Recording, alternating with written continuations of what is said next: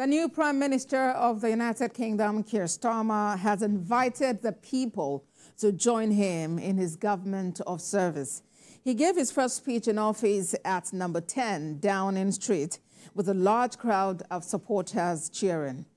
The promise to restore trust in government and to fight to achieve that until the people believe it. He's right now appointing a new cabinet. We have more in this report.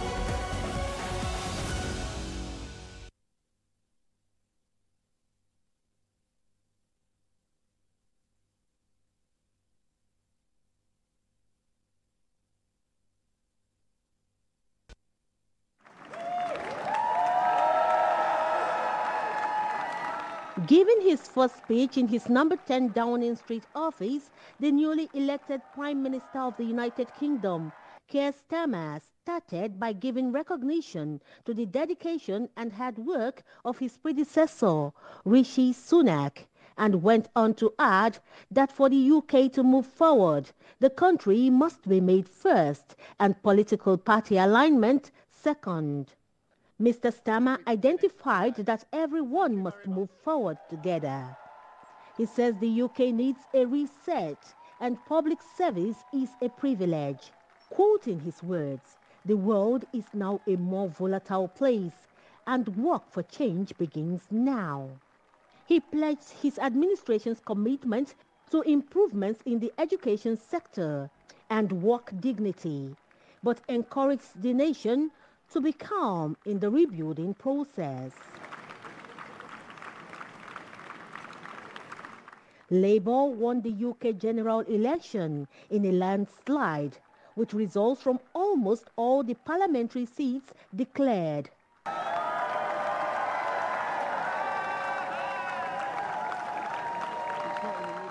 Conceding victory outgoing Prime Minister Rishi Sunak was first to announce Labour had won the election at about 5 a.m. He apologized to his party and campaigners over their anger and disappointment and formally tendered his resignation to King Charles III during an audience at the Buckingham Palace. To all the Conservative candidates and campaigners who worked tirelessly but without success, I am sorry that we could not deliver what your efforts deserved. It pains me to think how many good colleagues who contributed so much to their communities and our country will now no longer sit in the House of Commons. I thank them for their hard work and their service. Leader of the Labour Party and winner of the prime ministerial seat, Keir Starmer, also met with King Charles, who told him to go ahead and form a new government. The Conservative Party lost more than 250 seats and now stands as the opposition. The outgoing Prime Minister Rishi Sunak has pledged to resign as party leader. Several cabinet ministers in his party lost their seats, including former Prime Minister Liz Truss. Nigel Farage of the Populist Reform UK Party, a close ally of former US leader Donald Trump, won the party's first seats and came second in many more, splitting the right-wing vote and contributing to the losses of the Conservatives. The Liberal Democrats, who will be the third biggest party in Parliament, got their best results in years.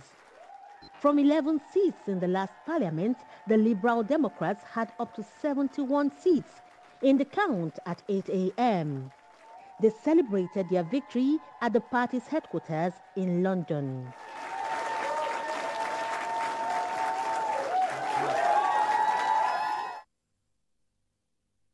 For more on this historic election, a political commentator, Nathaniel Oguni, joins me now from London in the United Kingdom. Good to have you join us on World Now.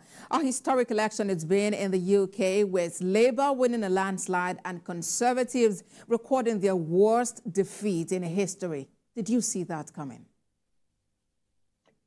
So I suppose the writing was on the wall. If you look at the election polls since about 2021, so for the last three or more years, the Labour Party have been ahead. And so it's not entirely surprising that they have won a majority of seats at this election. Um, I suppose what is slightly more surprising is the performance of the Liberal Democrats. Liberal Democrats will now be the third largest party in Parliament. They are expected to have 71, um, 71 seats, which is you know, uh, better than they're showing in 2010 when they went into coalition with the Conservative Party, but it's better than many people expected. Um, so they, they have done quite well. Equally, the Scottish Nationalist Party, uh, who advocate for an independent Scotland, have performed quite badly. They are under 10 seats. If you look back to 2015 or 2017, they had 56 seats back then, and now they're under 10. So there's been significant, uh, significant reductions on that side. All right, but then, although Labour won a landslide with 412 seats, it got only 34% vote share. What's the implication of that on the voting pattern of the people? So there are two ways of looking at that. Uh, Labour's vote has been very efficient. And what I mean by that is Labour's vote, uh, Labour have gotten exactly the number of votes they need in the right places. So, if, for instance, in Hendon, in North London, Labour won the seat with 14 votes to spare, right? Every single vote you win above a majority doesn't actually matter simply because you've already won the seat. Um, so the fact that they are winning seats with, you know, 14 votes to spare tells you that their vote is quite efficiently spread out. Um, what that means, however, is that a small swing, so a few people, you know, in the case of Hendon, you know, less than 10 people, but a small number of people across the country switching their vote from Labour to the Conservatives potentially at the next election means that the Labour Party might lose a significant number of seats. And we saw former Conservative Nigel Farage's Reform Party making some quite headlines, but you know they found it difficult to convert votes into seats. Do you see the Conservatives get over this defeat? So the Conservative Party over the last few weeks have hammered home the message that a vote for reform is a vote for Keir Starmer. And the reason they've said that is the deputy leader of Reform has bragged about how the Reform Party have pushed the Conservative Party out of power in the West Midlands at an election back in May. Um, the leader of Reform, former leader of Reform, Richard Tice, has said that he was happy to see the Conservatives pushed out of office elsewhere. And so you see that actually uh, the message about supporting reform leading to a Labour government has been pushed quite heavily. And so I think in a good number of seats, people have thought, well, I might not necessarily be happy with the Conservative Party, but I'm more the, but I'd be less happy with the Labour, with the Labour government. So, right. you know, they, they've had to sort of hold their noses. Mm, and it does appear the Prime Minister has a huge task ahead of him. What are your expectations? So Housing and planning reform has been central to Starmer's pledges.